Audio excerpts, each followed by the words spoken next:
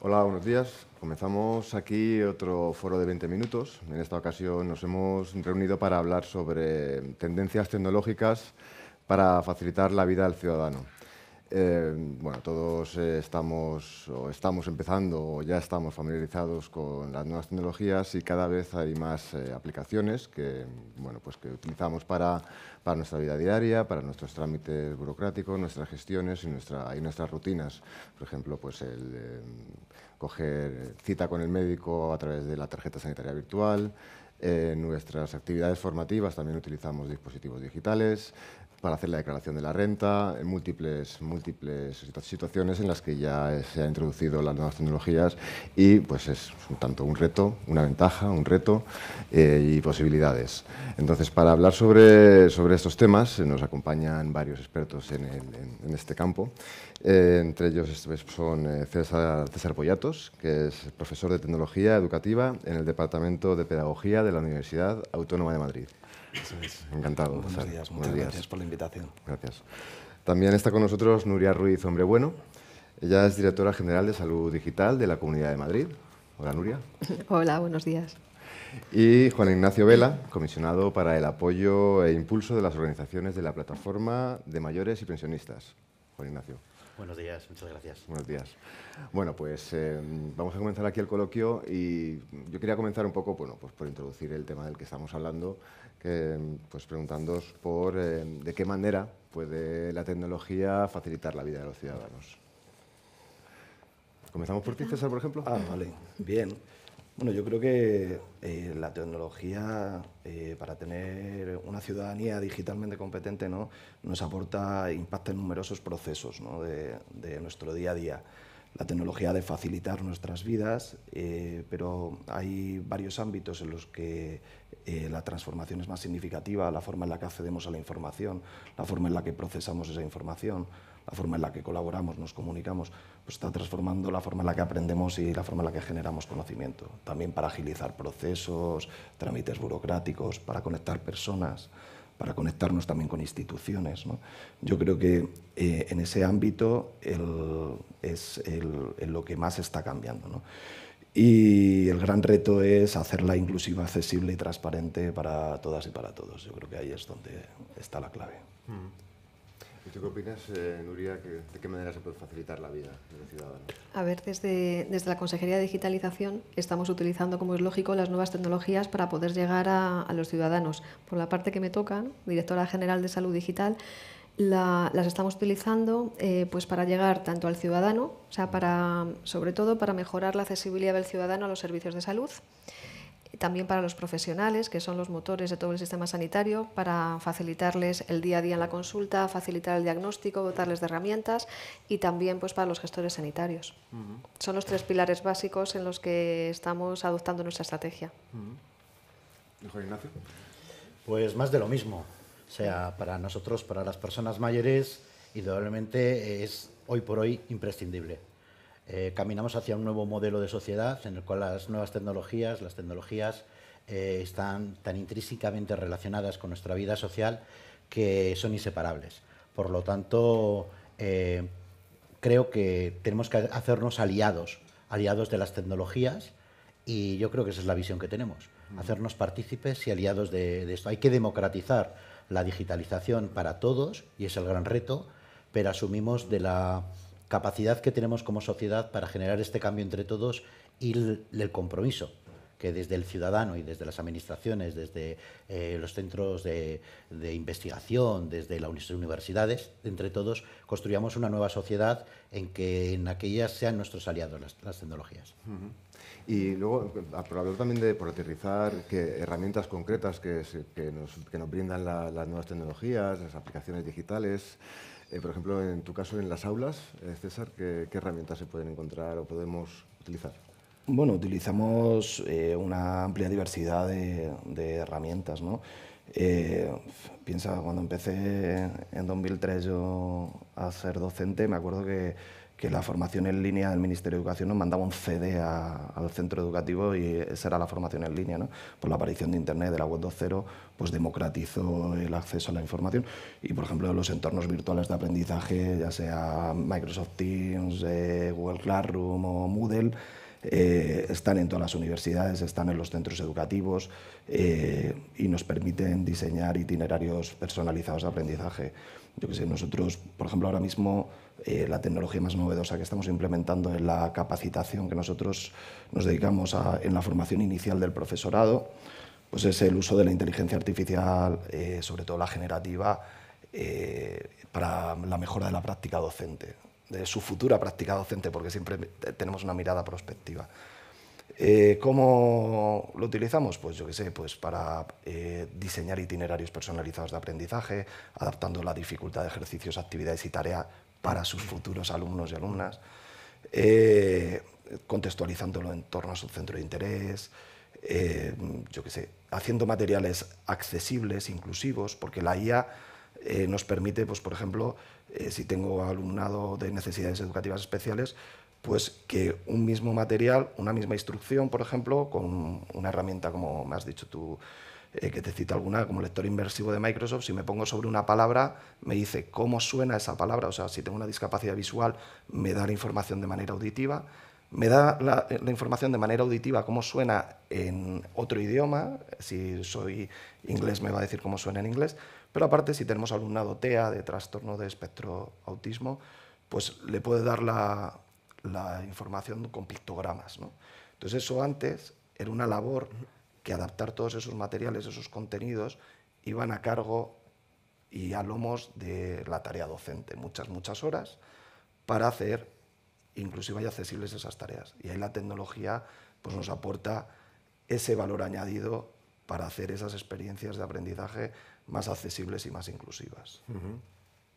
Sí. Y en vuestro caso, Nuria, desde la Consejería de Digitalización, concretamente desde el área de salud digital. Pues eh, en nuestro caso, Todas las, todas las actuaciones que estamos haciendo están basadas en distintas líneas estratégicas. Una de ellas es la accesibilidad. Dentro de la accesibilidad, nuestro gol estándar es la tarjeta sanitaria virtual, que lo que pretende es acercar todo el servicio de salud al ciudadano tiene, como he comentado antes en ese pequeño speech, pues tiene ahora mismo más de 40 servicios, más de 150 funcionalidades. El ciudadano puede coger su cita a través de tarjeta sanitaria virtual. O sea, no solamente es la forma de identificar al ciudadano, no es un, eso es muy básico, ¿no? O sea, no es un sustituto de la tarjeta física, que también, eh, para poder identificarte en las farmacias o en los centros de salud o en los servicios de salud en general, sino que te permite coger citas, te permite acceder a tus informes, acceder a tus pruebas de imagen, eh, tener por geolocalización, poder identificar las farmacias de guardia en cualquier momento eh, bueno, en el lugar del, vamos, por geolocalización desde el lugar de la búsqueda. Puedes acceder a tus programas de cribados, acceder a tus partes de incapacidad temporal. O sea, tiene, tiene muchísimos servicios y estamos trabajando para implantar muchísimos más. Eso dentro de, digamos, la accesibilidad, también con las pantallas que veis ahora en los hospitales, que veis en los centros de salud, la gestión de turnos. O sea, ha, sido, ha sido un gran avance. No sé si recordaréis cuando ibais al centro de salud y salía el sanitario con su hoja nombrando a todos los que estaban fuera, yo, yo lo he vivido de residente. Ahora esto se ha parado un poquito. No sé si me oís. Sí, sí. sí. Claro, ahora es otra cosa, ¿no? Ahora te, tú llegas, te identificas con tu tarjeta, ves tu pantalla, totalmente anonimizado, donde tienes que entrar. Eh, otra de las líneas pues es la telemedicina. Estamos trabajando en videoconsulta. A videoconsulta eh, se puede acceder también desde tarjeta sanitaria virtual. Si tu profesional te prescribe una cita por videoconsulta, tú puedes acceder a través de la tarjeta. Eh, más cosas, bueno, medicina personalizada y de precisión, estamos trabajando con todo el tema de la genómica eh, en redes, en redes sobre todo, bueno, para diagnóstico precoz ¿no? de cáncer, eh, bueno, y otras muchas patologías. Y luego, bueno, como no voy a hablar de la inteligencia artificial. Ahora mismo en los hospitales madrileños hay más de 100 modelos de inteligencia artificial. En atención primaria, te comentaba al principio que también tenemos inteligencia artificial, vamos, IA generativa basada en ChatGPT-4 como herramienta de ayuda en el diagnóstico de enfermedades raras. Eso en los 433 centros de atención primaria que hay en la Comunidad de Madrid. Eh, como ejemplos de IA en los hospitales, pues eh, hemos estado utilizando en el TAC de toras, en radiografías, en patología de próstata, se utiliza muchísimo en radiología y sobre todo es bueno, como herramienta de ayuda en el diagnóstico precoz. Y luego estamos también trabajando desde la edición general en el gobierno del dato. O sea, ninguna IA va a funcionar bien si los datos no están normalizados, no están estandarizados y no tienen calidad. Entonces trabajamos mucho en, este proceso, en la gobernanza del dato y también en tener una plataforma importante que permita el acceso a los investigadores. Muy bien. Y en vuestro caso, Juan Ignacio, ¿qué aplicaciones concretas o qué herramientas se pueden, pueden facilitar la vida de, las personas mayores? Bueno, lo primero que me he quedado alucinado, ¿eh? impresionante, impresionante lo que habéis comentado. Bueno, nosotros no nos dedicamos a la digitalización. ¿No? Somos una plataforma en la cual agrupamos a millones en toda España de personas mayores de otras organizaciones que están asociadas a nosotros y de pensionistas de toda España. Pero sí que es verdad que es un tema que lo trabajamos en varios, en varios sentidos. Uno, colaboramos con administraciones públicas en el desarrollo de normativas, así por ejemplo con la banca, con el ministerio, de, con diferentes ramos del ministerio, pues estamos trabajando en iniciativas para hacer accesible eh, la digitalización a todos los ciudadanos, incluido a las personas mayores. Pero también lo trabajamos de forma interna, tenemos un grupo de trabajo, un grupo de inclusión digital, en el cual grandes profesionales que han trabajado en, modelos de las tecnologías, en la digitalización, tanto en las administraciones, en empresas como en entidades sociales, pues se agrupan y tienen un foro de debate sobre cómo seguir trabajando y aportando a la sociedad pues esos cambios que creemos que son importantes para, para que haya una auténtica digitalización, una tecnología accesible para todos. Nos preocupa mucho no solamente el nivel de, porque hay muchas herramientas, muchos, muchos programas, muchas apps, ¿no? que, que las usamos y que la verdad nos facilitan mucho la vida. Eh, nos preocupa mucho la usabilidad, no solamente, por un lado, la accesibilidad, que lo habéis nombrado varias veces, y la usabilidad. ¿no? A veces encontramos eh, aplicaciones o herramientas donde la usabilidad es más compleja.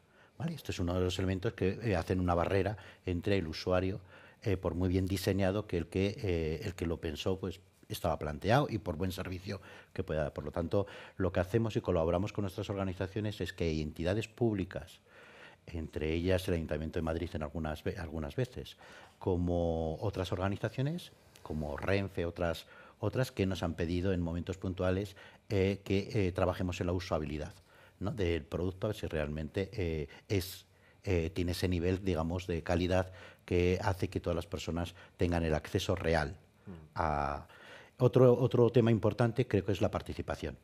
Las personas mayores, igual que todos los ciudadanos, deben de participar en el desarrollo, diseño e implementación de las nuevas tecnologías en nuestra sociedad. Es lo que garantizará que verdaderamente esas tecnologías eh, puedan ser accesibles 100% al colectivo a que va dirigido.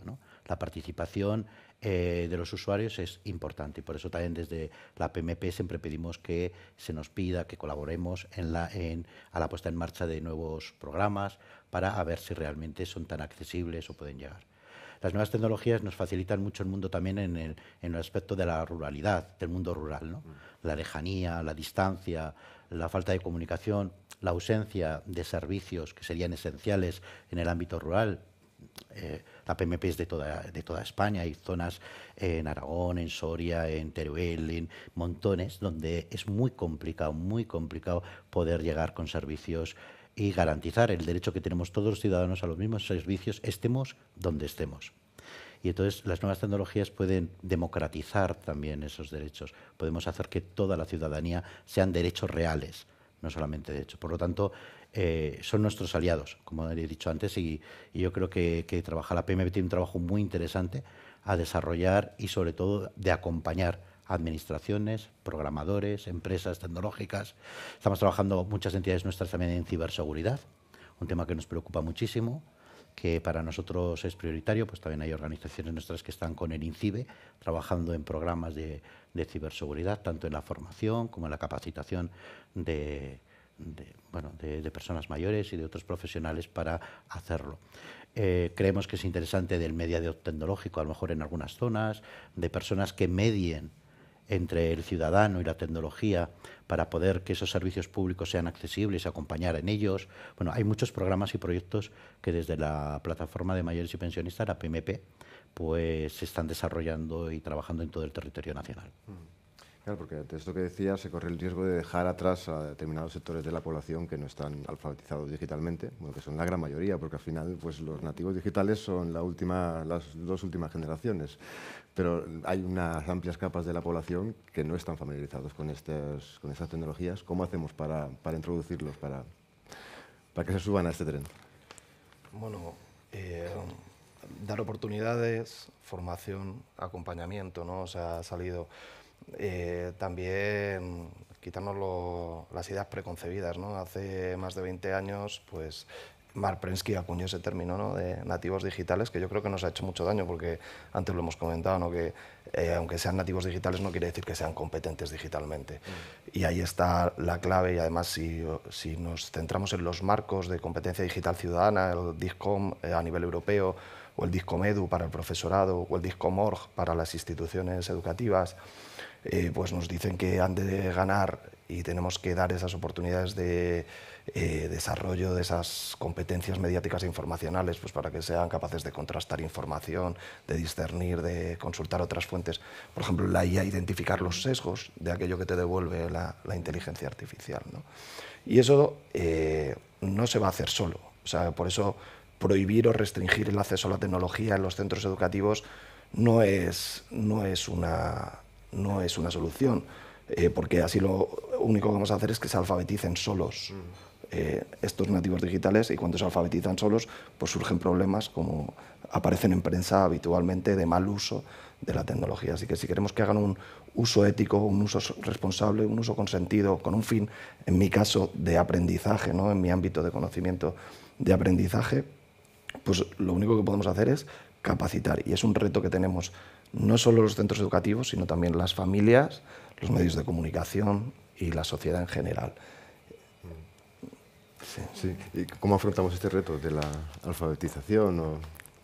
ya eh, clásicamente en sanidad se ha trabajado mucho en alfabetización en salud, desde la Escuela Madrileña de Salud, no sé si la conocéis, pero que es un servicio que, bueno, que está disponible para todos los ciudadanos de la Comunidad de Madrid. Eh, por parte de tarjeta sanitaria, pues con la delegación. Eh, nosotros ahora mismo tenemos el nivel 2 de delegación, el nivel 2 quiero decir pues que tú puedes darte de alta en tarjeta sanitaria a tus padres, a tus padres dependientes, a tus hijos menores de 16 años y puedes, mm, puedes acceder pues a, su medicación, recoger la medicación en la farmacia, puedes pedir cita para ellos, que eso también es de lo, de lo más demandado porque cuando hacemos la trazabilidad vemos pues que uno de los servicios más demandados es la cita sanitaria y tenemos un porcentaje importante de personas mayores de 80 años. Evidentemente, pues son los hijos habitualmente a través de la tarjeta sanitaria virtual. Y estamos ahora trabajando para poder implantar el nivel 3, el nivel 3 de delegación, que eso ya es acceso a la información clínica. Eh, la información clínica sabéis que es de las más sensibles, tiene un nivel muy alto de seguridad y necesitamos, bueno, determinadas, arreglar primero determinadas cuestiones, pero ya estamos trabajando y en breve se va a poder acceder con tarjeta al nivel 3 de delegación. Eh, se está dando formación, se está dando formación a los mayores, se está acudiendo a los municipios de menos de 20.000 habitantes, se está formando a los mayores eh, pues, cómo, cómo acceder a tarjeta sanitaria, cómo acceder a los distintos servicios, también a través de, bueno, a través de bot tenemos varios pilotajes y bueno, el paciente se le llama para recordarle la cita, para que la pueda confirmar, para que la pueda, la pueda cancelar, trabajando mucho en la accesibilidad, que sabéis que es uno de los, pues, de, de los retos importantes que tenemos, la accesibilidad en atención primaria, tenemos asistentes virtuales de gestión de la demanda, o todo ello puesto eh, a disposición de todos los ciudadanos, pero para nosotros es un, es un, objetivo fundamental el evitar, evitar la brecha digital. Sí, ¿qué se está consiguiendo? Bueno, yo creo que hay un esfuerzo evidente de todos en reducir al máximo, si no, no tendría sentido. O sea, una sociedad europea digitalizada, ¿no? Eh, no tiene sentido si luego dejamos atrás a las personas. O sea, verdaderamente tenemos que estar todos a la vez e intentar que no que dejemos a nadie atrás ¿no? en, este tema. ¿no? Porque sí que es verdad que la digitalización es necesaria y, es imprescindible. Desde la PMP eh, trabaja desde sus organizaciones como UDP, la Unión de Pensionistas Mayores, o, o CEOMA, o CONJUPES, o las grandes organizaciones nacionales, a su vez tienen otras cientos de organizaciones a su vez, y puede llegar de una forma muy capilar a todo el territorio nacional. El tema de la brecha digital a veces se asocia mucho con los mayores, y la tienen, pero realmente no es un tema edadista, o sea, no hay que verlo desde que la persona mayor, por el simple hecho de, de hecho, habrá jóvenes que también tengan estos problemas y gente de mediana edad, etcétera, en todas las edades hay problemas de, eh, de adaptación a las nuevas tecnologías y capacidades, porque van también muy asociados a otros fenómenos, como es la pobreza, como es el territorio, lo, hemos nombrado varias veces ya, ¿no? el aislamiento territorial, como es, son procesos culturales, de venir de otra cultura, de, a, un a, un territorio distinto, de la forma, del, del, acceso a la formación, si la han tenido o no, en qué ámbito. O sea, son muchos elementos los que van, los que van, los que están asociados a, la, a que se reduzca esto. Pero sí que es verdad que desde la PMP, desde la plataforma y todas sus organizaciones trabajan intensamente en la formación, capacitación, sensibilización y también desde el ámbito de formar, sensibilizar a las administraciones, a las organizaciones, a terceros en sus programas para que tengan una mirada también del usuario, ¿no? que, este, que es tan importante y que todos muchas veces lo decimos, pero luego a lo mejor siempre hay gente que la dejamos. Hay que intentar que todos estemos dentro para que nadie se quede atrás, porque si no, no tendría, no tendría sentido. Apostamos a que, los a que los sistemas sean también híbridos, a que eh, haya también un contacto con alguien, una persona para una eh, para una llamada telefónica, ¿no? que también perciban, porque no todo el mundo, que no sea una dictadura de la tecnología en nuestra sociedad, ¿no? sino que sea algo que lo, que lo vayamos asumiendo como un bien conjunto, un bien cultural, que intrínsecamente lo estemos trabajando como que es lo que tenemos en nuestra sociedad, que vivimos en eso, no, no algo impuesto por, por terceros. Yo creo que ahí sí que ha habido ciertos errores a la hora de, la, de las velocidades ¿no? de implementación. Y de esa velocidad hemos conseguido que unos vayamos en AVE y otros vayamos como en el tren que va a Cáceres, ¿no? Entonces, claro, la distancia, todos vamos en tren, sí, todos vamos digitalizándonos, sí, pero verdaderamente la distancia que vamos alcanzando cada vez es más, más grande. Entonces, esto hay que reducirlo. Hay que reducirlo con estos parámetros. Y ahí la plataforma de, de mayores y pensionistas está comprometida, comprometida en hacer una sociedad más tecnológica, pero juntos, todos juntos. Hmm. Sí, porque es verdad que esto va tan rápido que estamos todos también pues subiéndonos a esto de forma, a veces con errores, pero un poco aprendiendo, aprendiendo sobre la marcha. Claro. Sí, sí, siempre todo esto eh, cambia a un ritmo vertiginoso eh, y además eh, los cambios son exponenciales porque, pues, por ejemplo, la adopción de Internet en el ámbito educativo, pues desde que empezó el proyecto Red.es, me acuerdo, en, pues eso, en torno al año 2000, hasta el 2013 que se implementó y, se llevó Internet a las aulas, tuvimos 10 años de adopción. ¿no? me acuerdo que teníamos eso, las memorias en disquetes o las programaciones a tener luego todo en un ecosistema en la nube, colaborar. Entonces, eh, tuvimos mucho tiempo para aprender, capacitarnos. Eh, yo crecí sin Internet, en, en la universidad tampoco lo tuve, pero tuve la posibilidad de formarme, capacitarme y ser competente digitalmente para poder aplicar mi docencia. Eh, pero es que ahora se mueve a un ritmo, por ejemplo, la inteligencia artificial es una tecnología tan emergente y tan disruptiva y cambia, muta tan rápido, pues están saliendo del orden de 200 aplicaciones al día. ¿no? Eh, eh, tenemos la inmediatez en la información, pero tenemos también la inmediatez en el desarrollo tecnológico. Entonces, bueno, pues ahí yo creo que tenemos que hacer un poquito de pausa, un poquito de reflexión como sociedad, eh, pues qué es lo que, cuáles son las mejores herramientas para, sobre todo, que esta transformación digital, como bien han dicho mis compañeros, no deje a nadie atrás, porque no tiene ningún sentido la transformación digital si no es independiente de, pues, de la edad, de si vivo en un entorno urbano, en un entorno rural, del género.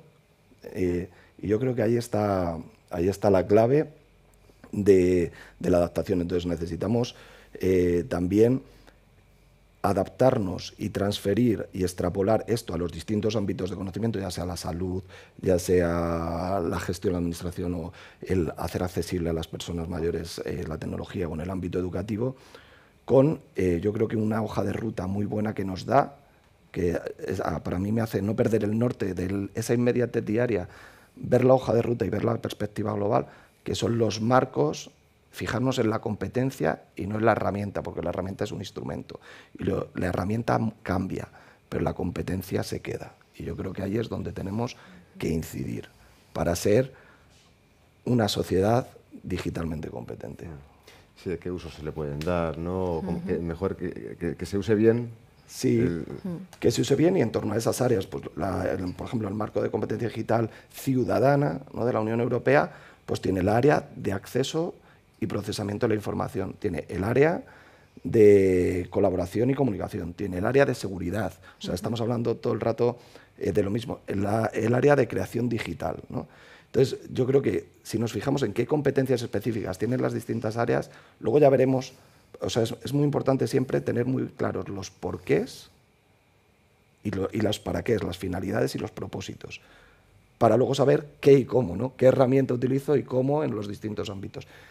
Y es que si nos eh, metemos en el tsunami del cambio este diario, nos vamos a perder, y yo creo que tenemos que tener muy claro el marco que nos permite luego... Eh, que esto se haga con sentido, con un proceso reflexivo y no llevándonos por una moda o por una...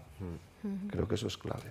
Sí, es cierto. O sea, las, las nuevas tecnologías han, han, supuesto una revolución en la forma de atender al ciudadano. O sea, un dato importante que creo que hay que resaltar es eh, los efectos de la pandemia. ¿no? O sea, la pandemia por COVID-19 nos ha obligado o sea, hemos pasado de una forma de atención a otra totalmente distinta. O sea, antes era una medicina más paternalista, eh, visitas presenciales a los centros de salud, a los hospitales, eh, visitas presenciales para tomarse la tensión, para mirarse el azúcar, o sea, muy paternalista, ¿no? O sea, como muy, muy reactivo. Y la pandemia nos ha obligado pues, a ponernos al día. Ya todos nos comunicábamos por Zoom, eh, todos por Teams, no nos quedaba otra. O sea, nos ha cambiado la forma de atender. Antes la gran mayoría de las consultas eran presenciales. Durante la pandemia, eh, pues el 100% de las consultas eran telefónicas. Eh, ¿Qué nos ha enseñado? Que se puede, ¿no? que, se puede, que se puede atender a los pacientes telefónicamente, que se puede atender por videoconsulta, que estás evitando desplazamientos innecesarios de una persona mayor o de una persona con discapacidad a un centro de salud eh, solamente pues, para que me den el resultado de una analítica o porque necesito un informe pues eh, la nueva tecnología nos ha permitido pues mejorar, ¿no? mejorar mucho en todas estas cosas. Has hablado de la inteligencia artificial, que es cierto que ha sido es una auténtica revolución. Nosotros estamos recibiendo modelos de IA continuamente. ¿Qué hemos hecho? Pues tenemos Primero en mayo, eh, vamos, publicamos ya en el Bocano la, Oficina Técnica de Impulso a la Inteligencia Artificial de la Consejería de Digitalización, que lo que tiene que hacer es bueno, regular, coordinar, ver las políticas de establecimiento, ven que todos los modelos cumplan los certificados. En el caso de salud, pues que los modelos eh, son considerados dispositivos médicos, tienen que tener todo, todo el reglamento actualizado. Pues hay una oficina técnica porque es necesaria porque si no es que no, nos adelantan por, por, todas partes. Y tenemos que asegurar además que los modelos que se implanten sean seguros, desde todos los puntos de vista, ¿no? desde el punto de vista técnico, funcional, desde el punto de vista de, la seguridad, que sean usables, porque nos encontramos con muchos modelos estupendos y maravillosos, pero que en el sector salud pues, no aportan, no aportan mucho valor. Todo eso tenemos que regularlo. Y luego la ciberseguridad. Sabéis que también tenemos, se ha creado ¿no? en la Consejería de Digitalización la Agencia de Ciberseguridad para poder regular pues, todo el tema de protección de datos y, ciberataques. Sí, la ciberseguridad, tú también antes también aludías a esto, ¿verdad? Sí, sí. Bueno, eh, sí, sí. Eh, yo pienso que eh, para nosotros es, es importantísimo porque afecta directamente al mundo de los cuidados, las personas mayores, las personas con fragilidad, en la dependencia, etcétera. Y indudablemente vamos a necesitar mayores tecnologías que nos ayuden y nos, nos aproximen. ¿no? A, es verdad, la tecnología tiene que ser humanizada, ¿no? hay que humanizar la tecnología, hay que ser humanizante también, ¿no? y pensar que no por el hecho de ser tecnológico eh, es inhumano, ¿no? sino a lo mejor tendría que ser al revés, sino que la tecnología nos aproximase más a otro tipo de relación con personas eh, que fuese pues sanas y que fuese correcta, ¿no? Esa, esa participación. Es muy importante también en las nuevas tecnologías que, que, por ejemplo, la inteligencia artificial, que es muy curioso el nombre, ¿no? Le damos algo que es tecnológico e inhumano, ¿no? Una característica humana que es ¿no? la inteligencia, ¿no? Que es la inteligencia. Y es una manera también, eh, también nos preocupa los sesgos que puedan producirse. Eh, de ahí, pues, a través de la ONCE, que también es un socio nuestro en la PMP, del CERMI, están trabajando mucho en, en este, buscando ¿no? Este, esta forma de que la inteligencia artificial y por esos resultados pues no tengan estos sesgos que puedan ser peyorativos o discriminatorios. ¿no? O sea, no todo. Hay, hay, hay cuestiones que nos preocupan. Las nuevas tecnologías tienen que favorecer la transparencia. La transparencia de las relaciones en las administraciones, la transparencia con nuestros bancos, la, la transparencia de nuestras relaciones, la transparencia. Yo creo que todavía es un tema pendiente pendiente. Al final no sabes quién está detrás de la pantalla, al final no sabes quién es el que, en muchos casos, ¿eh? Eh, no sabes quién te atiende, si es algo virtual, si es humano o si verdadero, o es un híbrido. No, no se sabe bien. Entonces yo creo que la transparencia, la transparencia de los datos, la, seguridad, el otro tema, que también lo hemos sacado varias veces, importantísimo. Uno de los grandes eh, temas que tenemos las personas para acceder a las nuevas tecnologías son los miedos los miedos a meter la pata porque he apretado aquí que no lo tenía que apretar y pronto o se apaga o se estropea o he borrado o he hecho algo o he hecho un pago que no quería o alguien se... Eh, las estafas y todo lo que tiene que ver con el mundo de la seguridad también eh, legal nos da muchísimo miedo, ¿no? Y esto va en, bueno, ahora ya, ¿no? Con hasta simulan la voz de mi padre que pueden llamar, los datos de, de, mi no sé qué, pues los han visto por las redes sociales y también los introducen, o sea, esto es un follón que es una amenaza, porque eh, para que haya participado tiene que haber mucha confianza del ciudadano a las nuevas tecnologías. Y esto es un tema que nos lo tenemos que, mirar como sociedad, porque ya es un reto a nivel europeo y, español, y es un reto en todos, ¿no? porque falta mucho para trabajar en, un, en, este, en este mundo, de la, en este espacio, en, este, en esta nueva ciudadanía ¿no? tecnológica para que sea también seguridad. Porque hemos construido una casa preciosa, pero resulta que nos entran por la ventana, por la puerta, y ahora tenemos que trabajar también en que sea segura. Segura, transparente, de confianza, y eso ganará muchísimo a que la gente pierda miedos a esta digitalización. Próxima, cercana, empática, ¿no? con interfaz que sean empáticos al ciudadano, a la persona, y, y no intentar separar de esta mirada que a veces nos da también miedo de que ha sido una excusa para reducir costes de ciertas empresas. No para hacerlo más. Y esto también, pues como ciudadanos y como plataforma ciudadana, también pues estamos muy pendientes. ¿no? hay entidades que reducen su atención directa, lo pasan todo a, un no sé qué, y de pronto ha roto automáticamente su relación con el cliente ¿no? Por ahí también pues hay las normativas europeas que también están, que faltan, ¿no? las directivas europeas que faltan su implementación real en el territorio en España, pues también urge se tomen porque también van a dos velocidades, la normativa y la tecnología. Y a veces la, defensa de los derechos de los ciudadanos tiene que ir por ahí. Y por lo tanto también nos preocupa ese tema es, verdad, que al final es importante que se utilicen estas tecnologías para comunicarnos mejor, ¿no? para ponernos en relación, para que la comunicación entre la administración o entre la administración educativa, sanitaria, los bancos, etcétera, las empresas con los ciudadanos, con sus clientes, sea más, más ágil. Sí, vamos, yo creo que en eso hemos avanzado mucho, yo creo que las instituciones, la, administración pública eh, ha agilizado muchos procesos muy tediosos, muy tediosos. Me acuerdo que eh, cuando estaba en las enseñanzas regladas tenía que ir al, al ISMIE, que, antes eh, es las acacias de la Comunidad de Madrid, y tenías que hacer cola, esperar a que el secretario te diera el certificado, te lo firmara, te lo sellara, y ahora en la Comunidad de Madrid meto con mi, eh, con, mi con el KBPIN o con mi certificado digital, entro y, me da el extracto de formación individual de todas las acciones formativas en las que he participado, por ejemplo. ¿no? Entonces, todo lo que sea agilizar procesos, eh, lo importante yo creo que es eh, toda la agilización de procesos, automatización de procesos, eh, es esencial, pero siempre con, yo creo que está saliendo y estamos poniendo énfasis aquí todo el rato, pues eso, que sea accesible, que, o sea, romper lo que es la brecha de acceso, la brecha de uso, ¿no? Eh, a esos. Y, también hay una labor muy importante que a veces nos olvidamos, que es la divulgativa y la pedagógica, ¿no? O sea, digo, mostrar y hacer llegar a todos y a todas que esto está ahí, porque muchas veces no se usa porque se desconoce. Entonces yo creo que ahí eh, también tenemos eh, otra labor muy importante como sociedad, como instituciones, como centros de formación, como educación, de hacer llegar a, todos los ciudadanos el qué servicios, eh, cómo que sean lo más simple posible, lo más transparente para, no me gusta decir usuario, para las personas, ¿no? porque detrás de la pantalla hay una persona, no hay un usuario, ¿no? para todas las personas. Mm. Sí, yo creo que es. Nuestro objetivo es, es, es, acercar la administración al ciudadano. Sabéis que hemos lanzado cuenta digital, no sé si visteis la presentación, que bueno, conocéis a, Ignacio Azorín, el director general de Estrategia Digital, fue el que lo presentó en Sol.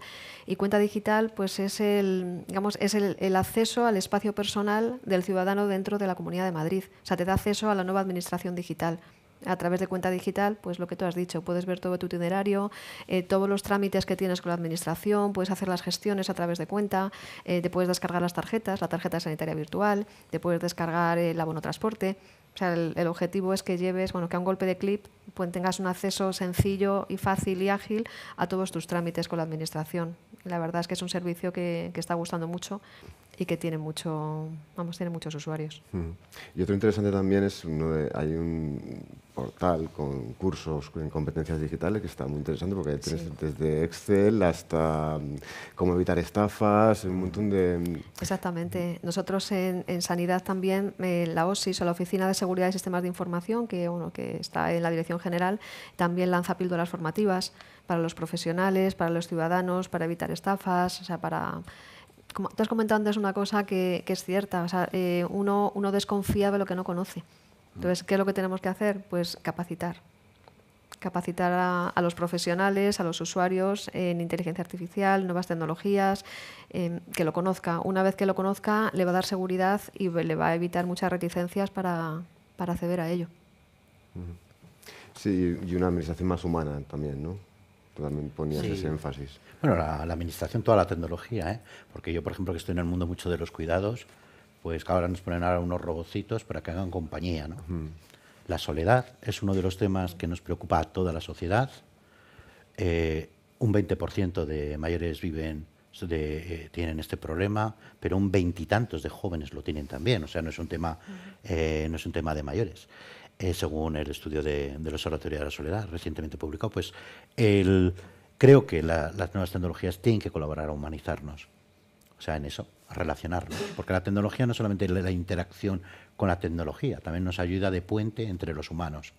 ¿no? en esa comunicación, es haciéndoles, bueno, en la misma pandemia, ¿verdad? Todas las videollamadas que fueron una cosa novedosa para las residencias, para los centros, la gente que estaba que no podía salir de casa y podía volver a ver a sus nietos, a sus hijos, o, más tecnología para los médicos, para la educación, etcétera, ¿no? Cada uno en su ámbito.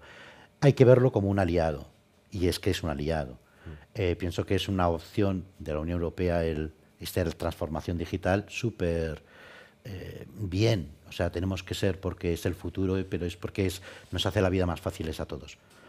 Y quitando estas preocupaciones que nos llegan y que la gente tiene, creo que el futuro de el futuro pasará ¿no? por esa convivencia entre la humanización de la tecnología y la digitalización del humano, ¿no? o sea, esta, mezcla. Pero eh, por eso digo que en los mismos cuidados, ¿no? decimos, bueno, pues es verdad que no me va a humanizar un robot que me, que me cuide o que me acompañe o que me haga hacer, pues que trabaje conmigo la parte cognitiva, en ejercicios cognitivos para el desarrollo de, o tal, ¿no? Pero sí que es verdad que puede colaborar a, puede facilitar a, no sustituir, ¿no? Entonces también ahí tenemos que saber cuál es el espacio, porque a veces se vende como algo que va a sustituir y a lo mejor también tendríamos que hablar más de algo que va a complementar, que va a facilitar, que va a apoyar otras cosas que ya tenemos. Mm. Que a veces pasamos de lo blanco a lo negro y en eso asusta también a mucha gente. Sí, es verdad que debe ayudar, ¿no? Es una ayuda, ¿no? Igual, que la inteligencia artificial, es, una ayuda, ¿no? A, a nuestros procesos. Sí, nosotros siempre partimos, es que hay una falsa dicotomía entre lo uno o lo otro. Eh, ya sabéis que vivimos en un mundo polarizado donde es blanco o es negro, hay una escala de grises muy, muy amplia y siempre ha de ser la tecnología un complemento a los procesos, en nuestro caso de aprendizaje. O sea, eh, porque en el momento en el que eh, se plantea como algo que sustituye suele ser invasivo, ¿no? O sea que yo creo que siempre es un apoyo y ahora, por ejemplo, con eh, lo has comentado, ¿no? La inteligencia artificial, pues dices, pues la inteligencia artificial la tenemos que ver como un complemento. Ahí, por ejemplo, Microsoft ha estado muy rápido porque ha metido de metáfora el, copiloto, ¿no? El copilot. Pues eso es, es un copiloto, es un apoyo, es un complemento, es un apoyo, es un asistente virtual pero al final el que soy docente soy yo y el que, el que estoy al mando de mi clase soy yo y el que toma las decisiones soy yo. Esto me potencia, me agiliza procesos, me, a veces es un desatascador de ideas, ¿no? Pues me que siempre soy sota, caballo y rey y a lo mejor me aporta otro valor y digo, ah, pero la visión pedagógica, el estilo docente es mío, las decisiones de lo que voy a hacer es mío, la evaluación de mi estudiantado es mía, no la puedo delegar a, a una inteligencia artificial que puede tener sus sesgos, que puede discriminar, que puede no. Entonces yo creo que ahí siempre hay que verla eh, como un aliado, como un apoyo y como un complemento, pero nunca como algo que sustituye a, al humano. Yo creo que ahí eso... Mm. Sí. sí. es. O sea, nosotros en Sanidad tenemos clarísimo que las nuevas tecnologías son herramientas de ayuda a los ciudadanos y a los profesionales. No voy a decir más. Sí. Bueno, antes también sobre eso decías, eh, hablabas de, algunas aplicaciones, por ejemplo, de para utilizar la inteligencia artificial para detectar o para diagnosticar enfermedades raras.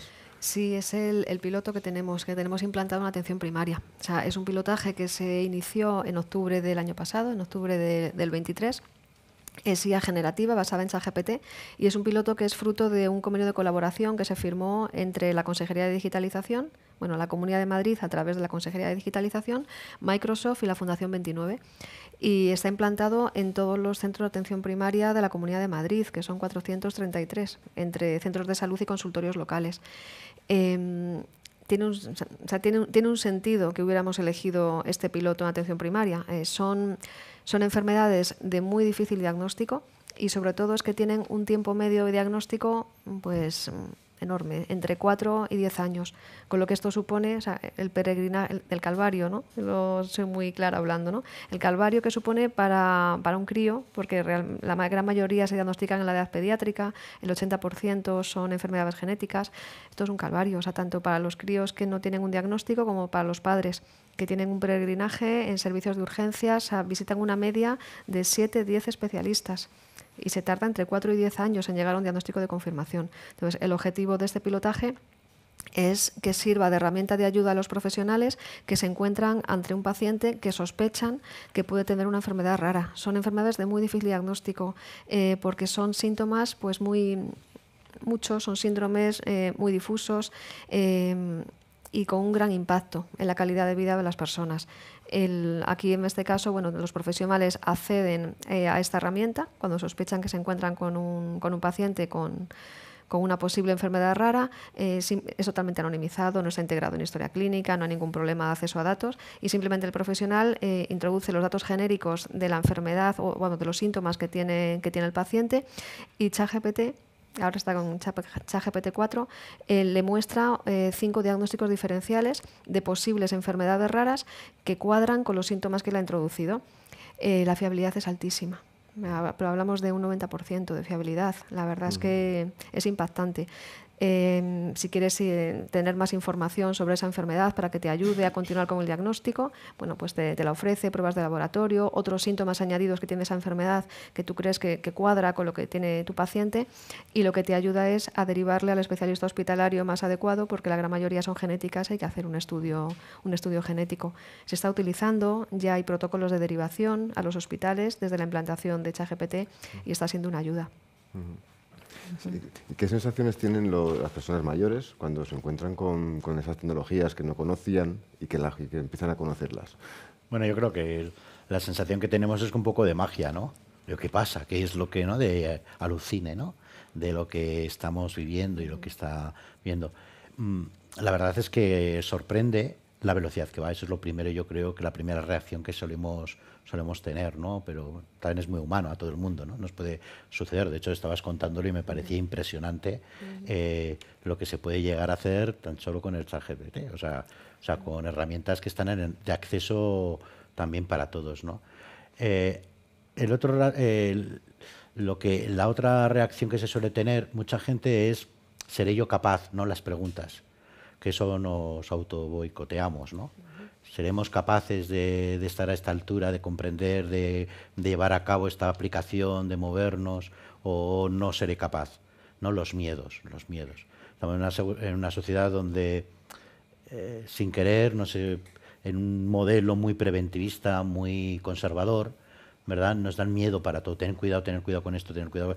Los mensajes que percibimos de la sociedad son mensajes todos no de pa'lante, pa'lante, sino de eh, cuidado, cuidado, porque aquí siempre vemos de alarma. Y siempre nos enseñan como primeras noticias lo negativo. No nos, no nos, enseñan los grandes avances que hay, lo positivo que es para tu vida y que hay riesgos que merecen la pena a, a pesar de que tengan, o sea, a pesar que haya peligro, merece la pena los frutos que tú vayas a sacar, ¿no? Construir una sociedad que, mire más en lo positivo, ¿no? Entonces, ahí parece que en las nuevas tecnologías hablamos de lo positivo como algo excepcional, algo mágico que alguien puede valorar o que alguien se puede beneficiar, pero como a mí personalmente nunca me va a pasar. Es lo que pensamos, ¿no? Habitualmente es un pensamiento muy humano, ¿no? de que siempre nos ponemos en el lado más... Entonces eso creo que es una barrera importante.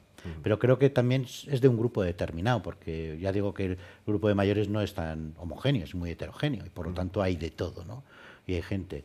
Mm, me acordaba también de un proyecto también con, con el chat GPT que se está haciendo en Valencia, en centros nuestros de, de otra organización de la PMP, que es Lares, que por ejemplo está haciendo, elaborando las historias de vida a través de la información que antes no se podía hacer, de los historiales clínicos, con el historial social, con la información familiar, etcétera. Junta las informaciones y elabora y hace una propuesta de historia de que es una historia de vida es una herramienta de cual ayuda a que cuando llegas a las edades de pues estar en un centro residencial eh, no sea un punto final a tu vida, al proyecto de vida que tú lleves desde que, ¿no? ahora que somos jóvenes, los que desde nuestra juventud elaboramos un proyecto de vida, ¿no? Y muchas veces los mayores cuando llegan a, ese nuevo espacio, pues parece que es, ya es otra cosa, ya no tiene nada que ver. ¿no? Mis preferencias, mis gustos, mis hobbies desaparecen porque tienes que hacer pues, las actividades lúdicas que tiene ese centro de día o ese centro residencial o tal, y ya es otro mundo. Parece que hay un punto y final al proyecto de vida. Bueno, pues con las historias de vida lo que se pretende, esto ya está muy, casi todos los centros ya lo tienen, en España lo que pretende es que haya una continuidad. Para eso tenemos que conocer todas esas aficiones y en una entrevista a lo mejor no sale todo, pero en sus historiales, en lo que el trabajador social va diciendo lo que gusta, quiénes son sus familias, qué es lo que no, cuáles son sus creencias, cuáles son todo el modelo al final. Y eso favorece mucho a esa mirada de construcción del, del periodo de vida que te queda que sea coherente con el resto de la vida que te has vivido y por lo tanto el objetivo ¿no? que tenemos como esos proyectos que nos marcamos cuando vamos creciendo de qué queremos en nuestra vida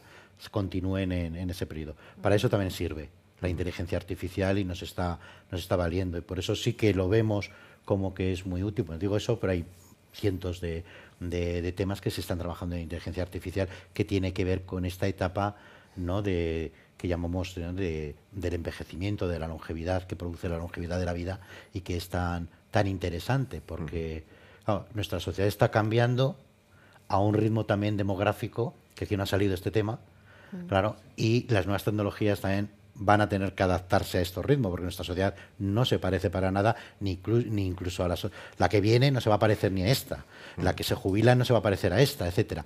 Entonces, bueno, un tema muy interesante también. Sí, es verdad que esta sensación de sorpresa que decías que se llevan los mayores, no lo llevamos todos cuando todos, o sea, no es una cosa solamente de las personas mayores, que realmente es la primera sensación ¿no? que te encuentras, pues me lo encuentro cuando tú me hablas de las enfermedades raras, de del diagnóstico o de las historias de vida. Es verdad que es una sensación que tenemos todos, ¿no? de, sorpresa. También alarma, como decías, pero también la sorpresa. Sí, eh, es, eh, de hecho las, las herramientas, ahora por ejemplo todas las de IA, eh, si os fijáis, eh, los iconos y las metáforas que utilizan para ese botón, esa funcionalidad, lo ponen como mágico, aunque de mágico no tiene absolutamente nada, porque ha sido entrenado con datos humanos, por humanos, con conocimiento humano y con muchos años y, evolución de la sociedad en las distintas áreas de conocimiento. A mí me sorprende y sí que creo que es un aliado, digo, en un ámbito que no he hablado, porque hemos, he hablado de la parte de docencia, tal vez porque me dedico a, formar las futuras generaciones de, docentes, eh, en el ámbito de la investigación. ¿no? el, pues, por ejemplo, es que me, lo, ha, lo, he evocado con el ejemplo que te has puesto, el, el, equipo AlphaFold de DeepMind, que ha identificado la estructura de más de 200 millones de proteínas. Eso era un hito impensable en la historia de la ciencia. Y lo que tiene la inteligencia artificial es que adquiere conocimiento experto muy rápido, mucho más rápido que, que los humanos. ¿no? Entonces nos puede permitir eso. O el MIT que ha desarrollado un sistema para predecir el cáncer de mama eh, o yo que sé, en el ámbito de la historia eh, hay unos investigadores que han generado un sistema de IA que es capaz, eh, pues se, han encontrado un papiro que se quemó en el Vesubio en el 79 a.C., ahí había información que no éramos, y es capaz de extraer la información de ahí, desencriptarla y hacerla legible. O aquí en el ámbito nacional, pues un investigador que, de la Universidad de Valladolid, que se llama Álvaro Cuellar, que ha generado un sistema de IA porque ya sabéis que estos sistemas se entrenan con una cantidad ingente de datos y gracias a ese entrenamiento que tienen son capaces de predecir, de clasificar o de ofrecernos outputs o de tomar decisiones. ¿no? Pues gracias a ese sistema de IA, eh, que lo desarrolló durante la pandemia, por eso me ha hecho gracia, porque sufrimos un proceso de digitalización muy fuerte. Perdón. Gracias a ese sistema de IA, lo que consiguió fue 3.000 obras del siglo de oro de la Biblioteca Nacional, que un problema que hay es que la autoría ¿no? en esas obras, porque no están firmadas. Entonces creó un sistema de IA primero para identificar el lenguaje que hay, que había en esos, eh, en esos escritos, traducirlo al lenguaje actual, pues si antes una palabra se escribía con Z y ahora con C se traduce con C, pero luego para clasificar obras. Entonces generó un modelo de obras de Lope de Vega sí, obras de Lope de Vega no. ¿no? Lo entrenó con obras que realmente sabemos que son de Lope de Vega y le pasó las 3.000 obras y de repente una obra hace ¡pum!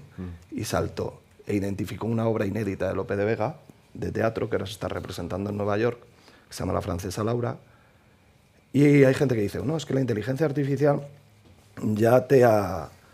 Eh, no, no es un sustituto. La inteligencia artificial me agiliza el proceso de tener que identificar los patrones de escritura de Lope de Vega en 3.000 obras, que sería impensable con el tiempo que yo tengo. Me agiliza ese proceso. Pero ahí no termina mi investigación, decía Álvaro. Dice, ahí comienza mi investigación, porque ahora tengo que ver dónde apareció la primera obra, tengo que contrastarlo con otras investigadoras e investigadores expertas en Lope de Vega para verificar y hacer la doble verificación. Y ahí vuelvo a lo mismo, tiene que tener un componente humano, siempre. Sí, también es importante ante esto pues el, que, que, que se haga uso, bueno, que se que se pida consejo a personas que son de cada sector, de qué se necesita, cuáles son las necesidades en cada sector, pues en el sector eh, sanitario. Es así. o sea, nosotros, o sea, esta dirección general está en, es de salud digital, está en la Consejería de Digitalización, pero trabaja de la mano con la Consejería de Sanidad y con otras consejerías. Es fundamental. O sea, todos nuestros proyectos tenemos grupos de trabajo y en todos está incluido el usuario final. Si las personas que van a utilizar la tecnología eh, no nos dicen qué es lo que necesitan, mm, estamos perdiendo el tiempo. ¿no? Podemos hacer grandes modelos, hacer grandes herramientas, pero que luego no son usables. Entonces, es fundamental siempre en cualquier proyecto eh, incluir al usuario final desde el inicio, desde la, desde la fase de definición del proyecto. Nosotros ahora, además, que como has comentado, lo del tema de la investigación, estamos trabajando, eh, vamos, no sé si conocéis la, situación ¿no? de la Comunidad de Madrid a nivel de interoperabilidad. O sea, sabéis que hay 35 hospitales, 433 centros de salud, tenemos el SUMA, pero con historias clínicas distintas. Eh, primaria tiene una historia clínica, los hospitales tienen historias clínicas distintas, entonces es un, es un debe. O sea, estamos trabajando en, digamos, en poder facilitar el acceso a los datos desde cualquier punto asistencial el paciente es el dueño de sus datos, el paciente tiene derecho a poder acceder a sus datos y lo que queremos es facilitar la vida eh, interoperando, interoperando los distintos sistemas. Nosotros tenemos más de 400 aplicaciones eh, el CIBEL es la base de datos poblacional de la Comunidad de Madrid, eh, cada uno de los, de los GISES de los hospitales, que son las historias clínicas, eh, aplicaciones departamentales que están integradas con cada una de las historias, de farmacia, de laboratorio. hay más de 400 aplicaciones en la Comunidad de Madrid. Entonces, tenemos un, un, proyecto muy, muy importante de interoperabilidad a través de visores para que, independientemente de donde vaya el paciente, donde sea atendido, el profesional pueda acceder a esos datos sin necesidad de que el paciente vaya pidiendo esos datos hospital por hospital, ni ir con el CD, a que me des la, el tag que me hice, que, que, me quiero ir ahora a otro hospital y me está pidiendo, el oncólogo me pide el tag. Entonces hay una labor importante de, de interoperabilidad.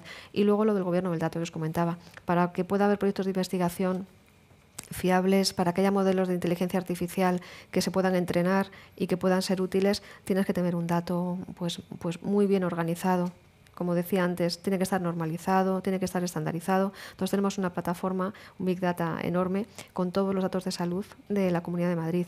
Participamos pues, prácticamente en todos los proyectos europeos. tenemos muchos proyectos con fondos, con fondos de farmaindustria, con fondos MRR, para facilitar interoperabilidad, con plataformas de IoT. Trabajamos con los, cuatro clústeres que tenemos eh, en la Comunidad de Madrid, de inteligencia artificial, Internet de las Cosas tenemos que implantar, no nos queda otra, todas las nuevas tecnologías y, como decíamos, como una herramienta de ayuda. Si no, no, si no, no nos sirve. Y ya por concluir, porque se, nos va acabando el tiempo, em, pues eh, cuáles son las ventajas, oportunidades, las claves que tenemos que, las claves con las que nos tenemos que quedar. Me lo preguntas a mí. Sí, por ejemplo. soy el menos experto de Bueno, entre sí, para todos. Bueno, pues bueno, yo creo que las hemos comentado. ¿Eh? a lo mejor podemos hacer de forma de resumen. Se me ocurre, naturalmente, creo que es muy importante que haya, que haya participación de, de, la ciudadanía en todos los procesos, en el diseño, en la elaboración, o sea, desde que lo piensas, qué hacer, hasta que al final lo pones en práctica. ¿no? Yo pienso que ese es uno de los graves errores que podríamos cometer, es cuando no lo hacemos, porque pensamos que todo el mundo funciona con la misma cabeza que el programador, y no, no es. Eh, por otro lado, tiene que ser accesible, inclusivo, o sea, accesible para todo, para la discapacidad, para personas con diferentes, o sea, para todos los elementos, es un trabajo muy... Y luego eh, la usabilidad, ¿no? Que sea, que sea algo, que sea intuitivo, que yo sepa, que no me pierda en la página, que verdaderamente este botón que tú pones, que la gente piensa que tienes que pinchar aquí, eh, la mayoría de la gente ve que tiene que pinchar ahí, que eso nos ha pasado con algunas páginas públicas de administraciones públicas, ¿no? Entonces sí, sí estaba, estaba aquí para pinchar, pero era, era una foto, no era nada para pinchar. Entonces sí que ha habido cosas de este tipo, la usabilidad, y para eso se necesita mucho la participación de todos, la participación. Eh, creo que, que indudable que no se puede hablar de un ritmo, porque la sociedad tampoco va todo al mismo ritmo, pero es indudable que no se puede quedar nadie detrás. O sea, siempre tiene que haber alguien que quede, ¿no? Esto es como cuando vamos andando por el camino de dice que yo que hacía antes, aunque no se me note hacer montaña, no decía que tienes que andar como anda el más lento del grupo, no como el que anda más rápido, ¿no? Pues bueno, eh, todos tenemos que andar como el que anda más lento en el grupo, ¿eh? dejando que los demás evolucionen como tengan que evolucionar, pero yo que es mi obligación estar con el ciudadano, que es mi obligación dar un servicio a la a, porque tengo un negocio, tengo que ir con los que vayan los que estén más, más lentos, ¿no?